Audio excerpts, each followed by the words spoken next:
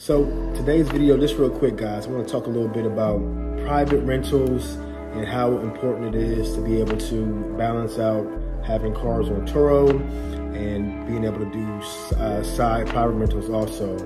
Um, the name of the game is side hustles and how to make the most money. Never been so lucky I can have it all. Can I simply ask you where you get this money from?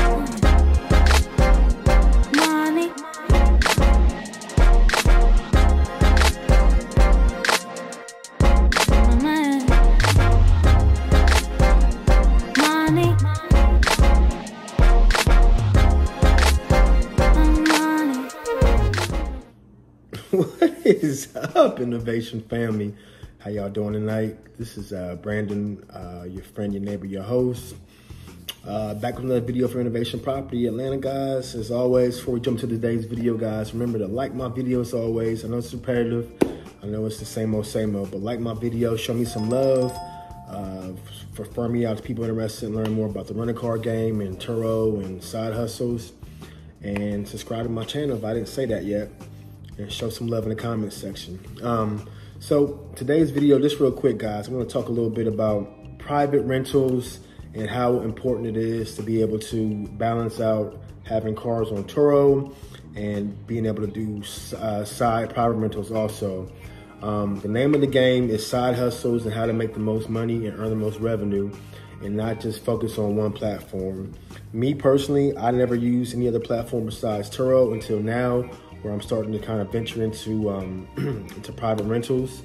Um, so I want to talk more about commercial insurance and what I did recently, some of the changes I made to my, my fleet and kind of what I'm doing as far as my strategy and processes. So I signed up with Lula Insurance.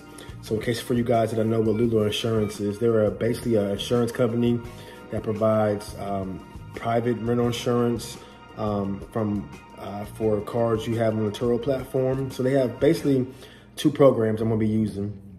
You can basically use them full time to be able to cover your cars on the commercial side, so you can rent them out on Turo and privately. And they charge anywhere from about 125 to 145 a car, depending on what type of car it is. Um, they don't do exotics or anything that's too crazy. So right now, um, they don't do the C8 Corvette. It's not one of their cars they cover. Anything but anything else in the fleet pretty much is fair games, from Range Rovers to Escalades to uh, the Challengers, the Chargers. Those are fair games. So most cars that are under under, under 50 grand they'll cover, um, but the exotic cars or the like Lambos, Ferraris, and all that they don't cover those. So um, I got to find another carrier for the for the C8, but I'll work on that later on. So Lula has that program where you can buy commercial insurance full time to rent on Turo or off of Turo.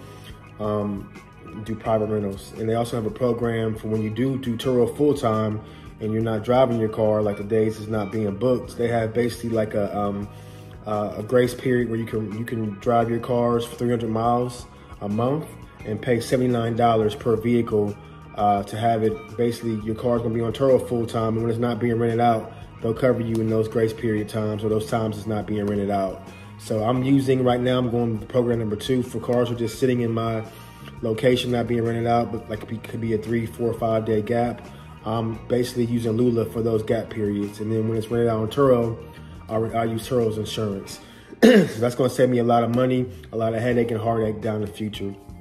Um, so what I want to do eventually is get more cars and then do this thing privately, guys, and then you know still use Turo as a resource, but eventually do this full time private because I think you can make more money if you're willing to invest in marketing along with your own, you know, your your uh, your rental software for rental agreements and screening clients and all that.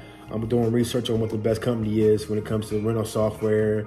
Um, I heard HQ um, is pretty good. HQ Rentals, I think is the name of the software. It's pretty good, but I'm looking at other companies also. So I'll have more videos talking about the software too, besides just the insurance part. But Lula is my new carrier for off periods or when I'm not running out the vehicle and it's just sitting. I'm, I'm using Lula when I drive it to go get car washes, maintenance, run a quick errand to get 300 miles per per month for those vehicles.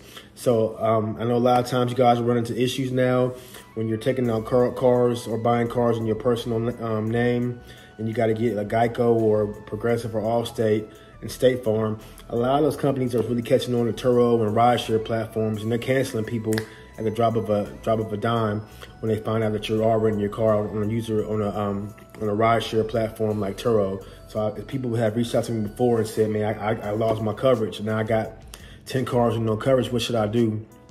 Got to consider commercial insurance. It might be a little bit more, a little bit more less. It depends on what kind of cars you got, but it's worth it in the long run. And make sure you're doing it right. Have all your paperwork and all your documents tied together, so you don't have to worry about insurance companies canceling you uh, finance companies, you know, concerned about what you're doing. Are you running a rental car company? I thought this was a personal car. Just make sure you get all your stuff together. So that's why we're going to be talking more about the LLC side and the corporation side in terms of, um, you know, having your own business set up versus running as a personal company, um, just having all your personal information, personal documents, personal finances all tied to these cars uh, from a long-term perspective. Getting started, personal is the way to go because you got to kind of you got to build business credit and build your name and your brand and all that that gets you know in, in, the beginning phases but once you get your name out there you start getting clientele then it's time to start switching that stuff over to llcs and s corps however you want to form your company and get commercial insurance and then get those cars refinanced if you can in your in your business name and not your personal but again don't take on a lot of debt if you don't have to and when you do you know do it on the business side guys i'm to keep talking more and more about the business side in these videos and how important that is. So Lula, I have a link in my description um, and below. You guys check it out. Um, you guys want to sign up, use the link below, and you can use my name as a referral, and you know and that'll help you guys get the ball rolling. You can use me as a contact also. If you have any questions, get on my calendar. My calendar is set up for 15, 30 an hour. You guys have any questions about you know how you want to format your fleet, maintenance questions, service questions, all that. I'm located in Atlanta, Georgia, but I'll be happy to help you guys out any way I can when it comes to your processes and how I can, you know, add any add any uh, any value to that. So that's today's video, guys. Just talking about the importance of commercial insurance. Lula's gonna be my off. Um, my gonna be my insurance company. I'm gonna be using when the car is gonna not be running on Turo. Um, just sitting there. I'm using Lula's gonna be my insurance carrier moving forward and I use Turo when uh, they're running out on Turo. And then eventually I'm gonna start doing a couple cars privately full time and see how that goes. And I'll pay a little bit more as far as my uh, insurance rate, but we'll see how that goes. And I'll keep you guys posted. But right now I'm gonna be doing a balance between Turo and also private rentals, guys. So check out, check out the next video. Leave any comments, any feedback for me. I appreciate you guys watching as always. Have a good evening.